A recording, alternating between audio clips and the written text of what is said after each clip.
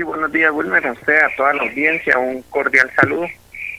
Eh, la situación del COVID en este momento en el departamento de Arauca, pues eh, preocupa bastante eh, nosotros como, como ente rector sanitario, en el entendido de que habíamos advertido y, comunicado a la comunidad del departamento de Arauca que el día 27 de septiembre comenzaba la época más crítica para nosotros aquí en nuestro departamento. Iniciábamos el pico epidemiológico y este pico se iba a extender probablemente hasta finales del mes de octubre. Eh, precisamente al día de hoy tenemos eh, diagnosticados 2.969 casos, lamentablemente un acumulado de muertes de 78 muertes eh, al día de hoy. Eh, en este momento en el departamento de Arauca tenemos una letalidad del 2.5 al 2.6%. Eh, si recordamos, Wilmer, y, a toda la comunidad, el día 20 de septiembre, es decir, exactamente hace un mes, nosotros teníamos 1.627 casos y en cuestión de, de, de ese mes de pico epidemiológico eh, se presentaron 1.342 casos nuevos. Eh, esto obedece pues al pico epidemiológico. El día 20 de septiembre teníamos, vuelvo y reitero, 1.627 casos y teníamos 35 fallecimientos acumulados. Eh, al día de hoy, pues lamentablemente, esta cifra por ese pico epidemiológico eh, subió a los 2.969 casos y de 35 muertes en un mes pasamos a 78 fallecimientos. En este mes de pico epidemiológico, lamentablemente, eh, se presentaron 38 fallecimientos en el último en el último mes. Por eso es muy importante hacerle llamado a la comunidad de que eh, eh, estamos en el pico epidemiológico en, donde más casos se presentan y el virus todavía está presente aquí en nuestro departamento de Arauca. Eh, de otro lado, eh, hoy afortunadamente, pues le podemos decir a la comunidad que los pacientes hospitalizados eh, comenzaron a disminuir. Veníamos de tener un promedio entre 35 pacientes hospitalizados a 39 pacientes y al día de ayer bajó esta cifra a 25 pacientes hospitalizados. En el Hospital San Vicente de Arauca, al día de ayer habían 11 pacientes hospitalizados, de los cuales uno se encontraba bajo, ventilación mecánica, y en el Hospital del Sarare 14 pacientes hospitalizados, de los cuales 3 se encuentran eh, ventilados, para un total de 25 pacientes al día de ayer hospitalizados. Vuelvo a reitero, afortunadamente, a Dios gracias, eh, los pacientes eh, disminuyeron de 39 pacientes a, que teníamos hospitalizados, bajamos a 25 pacientes hospitalizados. Wilman, esta es la situación eh, del, del COVID en el departamento de Arauca. Director, yo quiero plantearle sobre qué conocimiento o seguimiento se, se le ha hecho al caso de reinfección que usted mismo había informado en días anteriores. ¿Qué ha pasado con esta persona?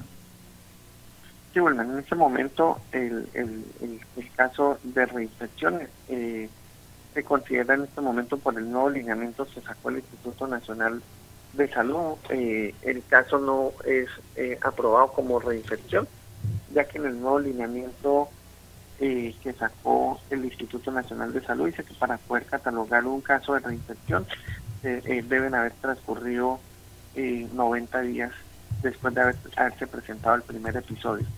Por lo tanto, pues este caso no se considera como, como reinfección, ya que la sintomatología que presentó un mes después de haberse producido el primer, el primer cuadro de síntomas. Bueno, director, se había dicho en meses anteriores que para agosto, incluso septiembre, estaríamos en el pico de la pandemia en el departamento de Arauca, pero vemos que este mes de octubre también muchos casos elevados. Obviamente con la, esa buena noticia que en cuanto a pacientes hospitalizados ha, disminuido el número de afectados. Pero ¿cómo podríamos interpretar que, eh, recuerdo, ya hace dos, tres días se presentaron en menos de 24 horas tres muertes. El día de ayer se presentó una nueva muerte.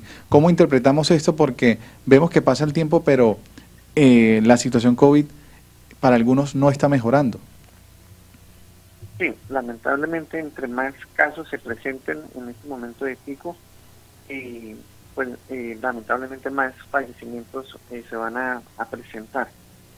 si seguimos el mismo comportamiento de promedio entre entre 60 y 70 casos positivos por día, en cuestión de, de un mes, pues vamos a tener alrededor de 2.000 casos y al tener 2.000 casos, pues la letalidad del virus en este momento es del, del 2.5% y pues lamentablemente van a fallecer alrededor de 50 personas que siguen el mismo comportamiento. Eh, sin embargo, la letalidad del virus en nuestro departamento de Arauca está un poco por debajo de la, de la, del acumulado nacional. Recordemos que en este momento van 981 mil casos pues, acumulados en, en Colombia y 29.464 eh, fallecimientos. Al hacer el ejercicio, la letalidad a nivel del territorio nacional es del 3%. Nosotros aquí en nuestro departamento de Arauca, la letalidad del virus es del 2.5%. Sin embargo, sigue siendo una letalidad bastante alta, porque esto quiere decir que de cada 100 personas que les dé la enfermedad, el virus, pues lamentablemente un promedio entre dos y tres personas van, van lamentablemente van a fallecer.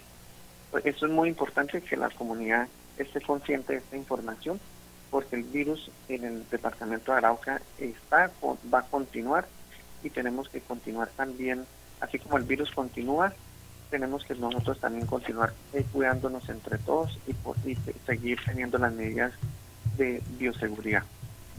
Así es, director, el, autocuidado, ¿no? Eh, eh, se han insistido mucho en esto, el distanciamiento social importante a la hora de salir a la calle, porque vemos que en algunos sitios no se está eh, cuidando esto, incluso en cuanto al tema del uso del tapabocas. 6 y 18 minutos, más preguntas, Castorila, buenos días.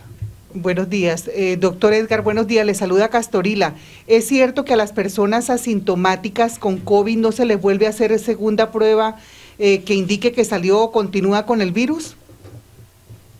Sí, en ese momento em, el lineamiento del, Instituto Nacional de Salud dice que después de que se le realiza el, diagnóstico a la persona, eh, em, se esperan 10 días eh, de cuarentena dentro de sus respectivas viviendas. Em, si en los últimos tres días eh, la persona no ha tenido sintomatología respiratoria, se considera un paciente recuperado. Director, ¿qué otras acciones ustedes están adelantando? Porque hemos visto también que en los últimos días se ha venido adelantando mm, jornadas de desinfección de la mano con el municipio. En el resto del departamento, ¿qué otras acciones preventivas se han venido desarrollando para la prevención del COVID-19? Sí, eh, el señor gobernador, el doctor Facundo Castillo, eh, junto con el presidente de la Asamblea, con el doctor Carlos Hernández, se citó a todos los alcaldes para eh, implementar eh, cinco estrategias y fortalecerlas en el departamento de Arauca. La primera, pues, es eh, no bajar la guardia con la educación desde cada municipio, en el entendido de que, pues, hay una mala interpretación de que la reactivación económica es igual a el virus está pasando. Y en este momento es todo lo contrario, estamos en reactivación económica y lamentablemente estamos en el, en el pico epidemiológico. Nosotros aspiramos que eh, este pico epidemiológico hacia finales del mes de octubre comience a descender. Y pues hemos visto hoy con gran satisfacción, como le comentaba, que los pacientes hospitalizados han comenzado a, disminuir. la segunda estrategia que se recalcaba en cabeza del señor gobernador es el diagnóstico, aumentar el diagnóstico. Y para esto, pues con AES Moreno y Clavijo, eh, las EPS han contratado pruebas de antígenos para aumentar la detección de la enfermedad en todos los municipios del departamento donde, ella hace presencia. Eh, la tercera estrategia es, así como están aumentando los casos, fortalecer los equipos de vigilancia epidemiológica en cada municipio, eh, es decir, el personal que se encarga de epidemiología en cada uno de los municipios para poder hacer los cercos epidemiológicos.